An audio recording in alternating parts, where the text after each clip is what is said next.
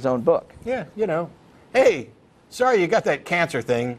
It's my opinion that instead of chemotherapy, you should eat jelly beans. And pray some more. Just as valid as yours, isn't it? Isn't it all just opinion? Isn't it all just relative? Anyway, this is a dangerous thing. Matt from Oslo, hello. Uh, hello there, uh, Matt. Hi. So uh, I want to make this kind of quick. I don't want to take up more Me time too. because there's no, not so much left to show, and uh, I don't have so much to say. Uh, but I hope you don't hang up on me.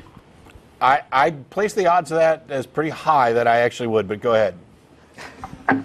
Okay, uh, so I've been calling you guys and just like talking crap and trolling you guys, Yep. and it was just quite recently when I figured out that I I really regret doing that, and uh, actually mainly the main reason for that is that I got lots of death threats from your fans, and I also see people commenting on YouTube like how much they hate me, and it actually made me feel very lonely and sad. How did you get death threats from fans of the show? Do they know you?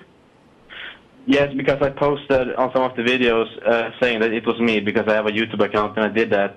Okay, well, and then they uh, let me say that. messaged- Let me say that to the fans of the show, don't be death threatening anybody. Yeah. So uh, uh, I, I would just like to say that uh, I, I kind of I, I regret I regret doing it, and I apologize to you and uh, all the hosts. Okay, thanks.